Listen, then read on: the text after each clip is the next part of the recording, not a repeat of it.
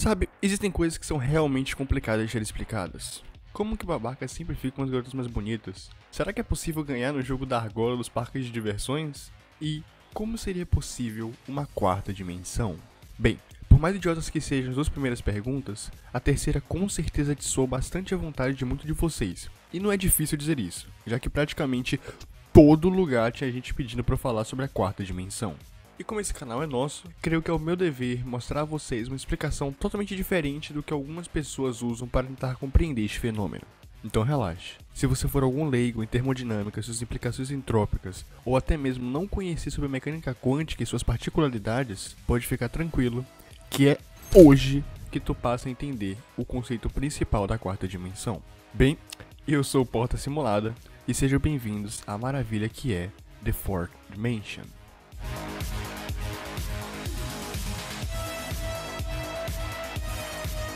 Uma coisa básica que precisamos colocar na cabeça para tentar entender a quarta dimensão é que não somos capazes de entender a quarta dimensão.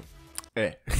Pode parecer que eu acabei com esse vídeo, mas relaxe que você vai entender. Nós do Brasil, habitantes da América Latina, situado no planeta Terra, alojado na Via Láctea, somos seres tridimensionais, ou seja, estamos representados fisicamente em três dimensões: comprimento, largura e aquilo que nos difere, altura. Ou seja, nós somos seres bidimensionais com um toque a mais, que seria a altura. Então, quando você está jogando algum jogo 2D, saiba que ele se trata de um jogo com apenas duas dimensões, comprimento e largura. Quando pegamos uma imagem inicialmente em duas dimensões e adicionamos a altura, agora temos uma imagem em três dimensões. E é nisso que eu preciso que vocês se atentem. Quando pegamos um objeto que possui três dimensões e pusemos ele contra alguma iluminação, é muito fácil ver que emana uma sombra, e a sombra do objeto, obviamente, o representa em duas dimensões. A única diferença dessa sombra para o objeto é que as medidas delas estão erradas. Se pegarmos um cubo equilátero, ou seja, todos os lados iguais, e colocarmos contra uma luz, a projeção dele não terá lados iguais, será uma projeção distorcida, será uma projeção prejudicada. E faz sentido que seja prejudicada, pois ao tirarmos uma dimensão do cubo e transformarmos ele numa figura bidimensional, ele acabou perdendo as propriedades e, por consequência, perdeu a sua forma equilátera também. Pronto. Em resumo, figuras tridimensionais possuem sombras bidimensionais, porém suas sombras são deformadas quando comparadas à figura original. Mas e se a gente pegasse essa ideia e aplicasse para a quarta dimensão?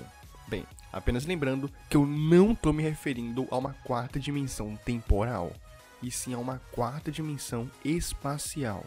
Ou seja, eu não estou falando do tempo e sim do espaço. Então, as sombras de objetos quadridimensionais resultariam em formas tridimensionais, porém deformadas em relação à sua forma original. E é aí que o Tesseract entra. O Tesseract é simplesmente uma representação tridimensional de algo quadridimensional. E como vocês viram, por ter uma dimensão a menos, os Tesseracts que vemos estão deformados eles não possuem sua forma original, algo que seria incompreensível aos olhos humanos, já que estamos em uma simples e pequena terceira dimensão. Eu entendo completamente se sua cabecinha não conseguiu compreender tudo, pois é algo literalmente bem complicado. Mas espera aí que eu prometi no início do vídeo que você iria entender. E o iPort aqui não é de descobrir promessas. Então eu vou tentar usar um contexto um pouquinho mais fácil, que eu garanto que vocês vão entender isso de uma vez.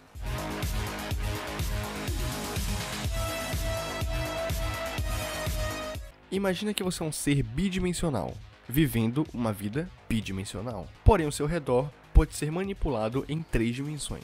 Você apenas não tem capacidade de chegar a isto. Então você vê a sua amada presa por uma parede e tenta ao máximo resgatá-la. Mas claramente você não consegue. A barreira é alta demais para você e você não teria como salvá-la desse jeito. Até agora.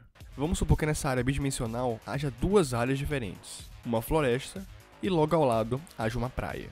Porém, para poder acessar a praia, é necessário andar para baixo. Mas lembra que os seres bidimensionais não têm altura? Então, para eles é impossível enxergar além do comprimento e da largura, e é impossível andar para baixo ou para cima.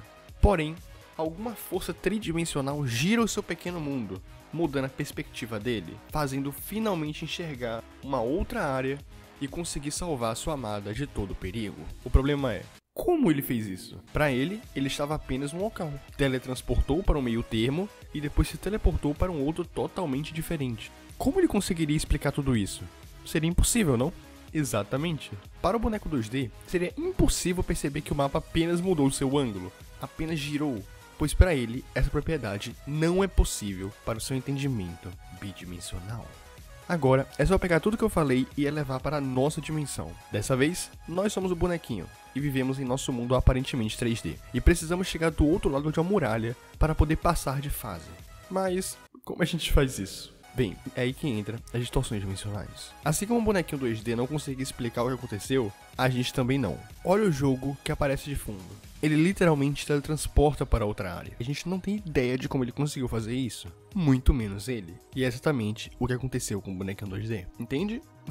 a quarta dimensão pode ser representada em três dimensões mas seria completamente distorcida e inexplicável, pois sua magnitude está além do nosso pensamento. Com um simples jogo, vocês conseguem enxergar que a quarta dimensão é um espelho da nossa, porém visto por seres que não fazemos ideia de como são, aonde estão e quando eles estarão em determinado local. Pois assim como seres tridimensionais facilmente manipulam cenários bidimensionais, quem garante que essa manipulação não possa ocorrer sem nem mesmo fizermos ideia de que ela aconteceu?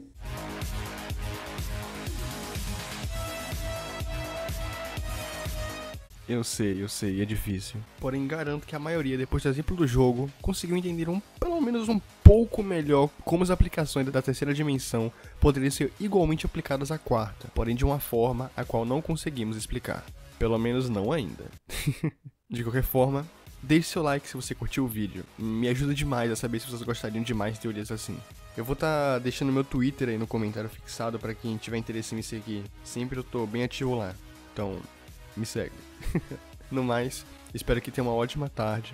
Cuidado com os seres de outras dimensões. Pois eu li que assim como nós podemos tocar o centro de um quadrado com os dedos, eles facilmente poderiam tocar dentro de nossos organismos sem nenhuma dificuldade.